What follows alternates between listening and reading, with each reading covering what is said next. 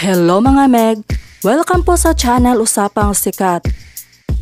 Sa video na ito ay makikilala niyo ng lubusan si Paulo Avellino at kung gaano nga ba siya kayaman. Malalaman niyo sa video na ito ang kanyang biography or lifestyle, ang kanyang mga naging karelasyon, at ang nagpapatibok ngayon ng kanyang puso. Kung kailan at saan siya nagsimula sa kanyang karera, ang kanyang estimated net worth ngayong 2021, at ang mga napuntahan ng kanyang yaman, gaya ng negosyo, bahay at mga sasakyan. Pero bago natin ipagpatuloy mga Meg, please subscribe at i-click ang notification bell. Thank you! Ang tunay na pangalan ni Paulo Avellino ay Michael Paulo Lingbanan Avellino. Siya isinilang noong May 30, 1988 sa Baguio Benguet at 33 years old na siya ngayon. Ang kanyang mga magulang ay sina Roberto Avellino at Ginilyn Lingbanan. Ang kanyang ama ay isang influential Spanish Filipino mula sa Calbayog City, Western Samar at ang kanyang ina naman ay isang accountant. Siya ay apo ni Baltasar Avellino na dating gobernador ng Samar at great-grandson ng dating Senate President na si Jose Avellino.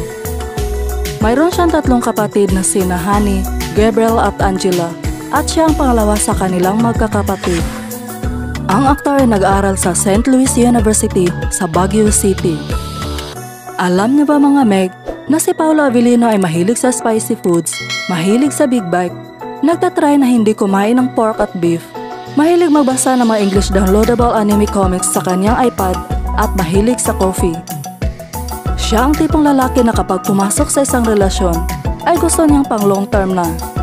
Kaya kilalanin na natin ngayon mga Meg ang kanyang mga naging karelasyon. LJ Reyes Si LJ at Paulo ay produkto ng reality talent show na Starstruck sa GMA Network. Si LJ ay sa batch 2 habang si Paulo naman ay sa batch 4. Ang kanilang relasyon ay nagtagal ng apat na taon.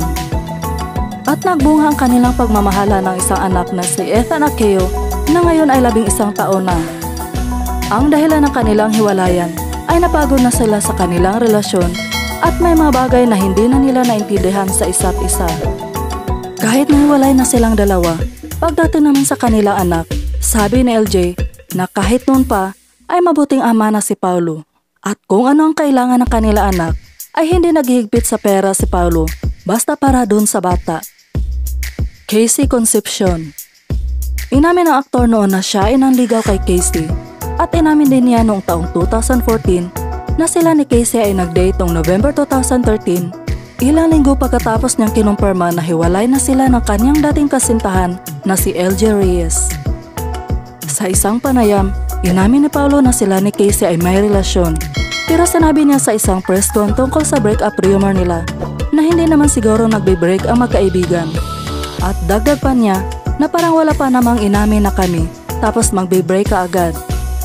Baka ang sinabi niya na may relasyon sila ay relasyon bilang magkaibigan lamang, hindi bilang magkasintahan.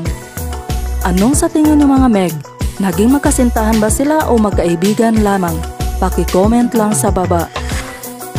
Judy Elizabeth Tarasik Si Judy ang leading lady in real life ni Paulo at ang nagpapatibok ngayon ng puso ng aktor.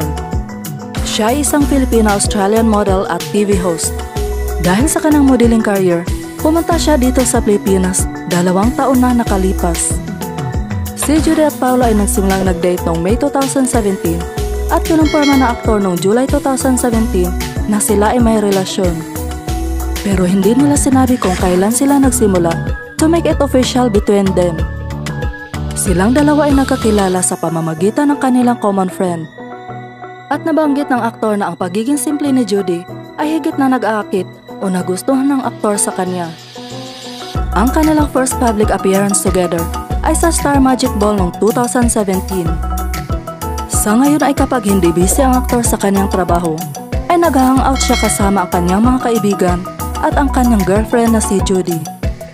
Alamin naman natin ngayon mga Meg kung kailan at saan siya nagsimula sa kanyang karera.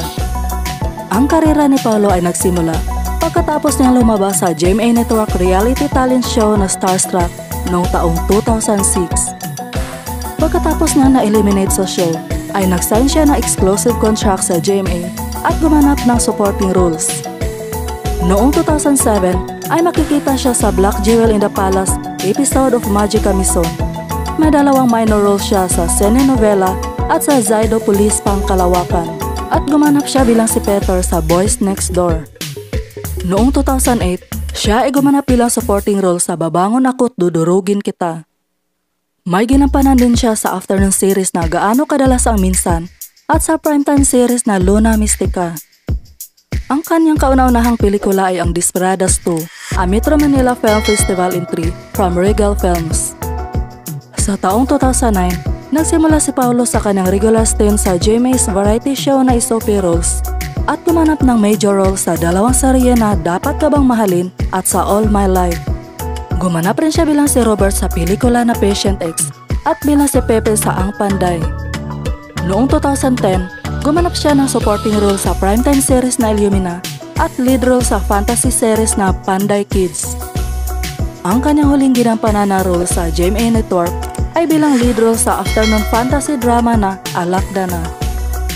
Sa kalagitnaan ng taong 2011 ay lumipat si Paulo sa ABS-CBN o Kapamilya Network. Ang kanyang unang proyekto bilang kapamilya aktor ay isang lead role sa pelikulang Aswang. At gumanap bilang guest role sa 100 Days to Heaven na kanyang kauna-unahang show sa ABS-CBN. Makikita rin siya sa Once Upon a Time, sa Maalaala Mo Kaya at sa Ikaw ay Pag-ibig. Ang unang parangal na napanalunan niya ay ang Best Actor sa pelikulang Ang Sayaw ng Dalawang Kaliwang Paa. Noong 2012 ay gumanap siya bilang si Nathan Montenegro sa primetime series na walang hanggan at co-star sa Lost Command episode ng Shake, Rattle and Roll 14. Sa taong ding ito ay nirelease niya ang kanyang first album na Paulo Avellino noong October 1. Noong taong 2013, ang aktor may ginampanan na drama series na kahit konting pagtingin, dalawang episode sa Malaala Mo Kaya na Notebook at Mask at sa family drama series na Honesto. May ginampanan rin siya na dalawang independent films na Devotion at Sana Dati. Makikita rin siya sa erotic drama romantic comedy film na The Bride and the Lover at sa romantic comedy film na Status It's Complicated.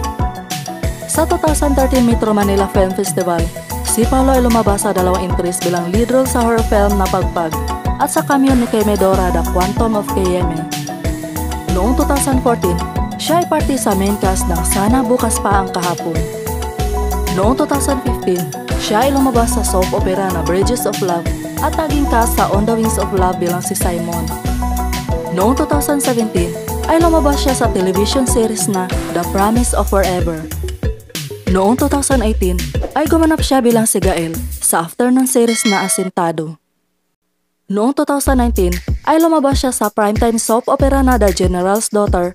Sa taong 2020 ay lumabas siya sa Walang Hanggang Paalam at sa Fangirl. At sa taong 2021 naman ay sa Marry Me, Marry You at marami pa siyang mga TV shows at movies. Dahil sa kanyang kagalingan sa pagganap ng kanyang mga roles sa TV shows at movies, ay nakatanggap siya ng awards na Outstanding Supporting Actor sa Walang Hanggan, Most Admired Male Personality in Philippine TV sa Honesto, Most Innovative TV Actor at Best Actor sa Bridges of Love, Best Supporting Movie Actor sa Generalo na, sa Ang Larawan at sa The Unmarried Wife. Outstanding Actor of the Year sa Asintado at sa Guyo ang Batang General. Best Actor sa Kasal at sa Walang Hanggang Paalam. Sa pelikulang Fangirl, ay nanalo siya bilang Best Actor ng tatlong beses sa 46 Metro Manila Film Festival, sa The Entertainment Editor's Choice at sa 21st Gawad Pasado Awards.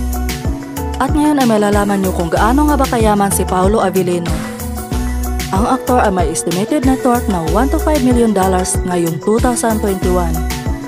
Ang ilan sa napuntahan ng kanyang yaman ay ang e-sports company na Lopon WXC kung saan partner niya ang local e-sports personality na si Neko Nazario o Kuya Nick.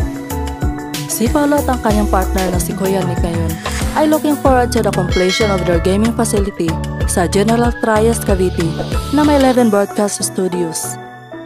Ang aktor ay walang pinapakita na bahay sa publiko pero ayon sa isang source, ay nasa kondo siya nakatira at doon niya pinapatulog minsan ang kanyang anak na si Aki. At ang ibang napuntahan ng kanyang yaman ay ang kanyang mga sasakyan at mga motor. Sinabi ni Paulo sa isang panayam sa ABS-CBN na siya may dalawang SUV pero hindi niya ito pinakita. Ayon sa aking nakalap ang halaga ng bawat SUV car ay umabot ng mahigit 2 milyon pesos. Si Paulo ay mahilig sa mga motor kaya narito ang ilan sa mga ito.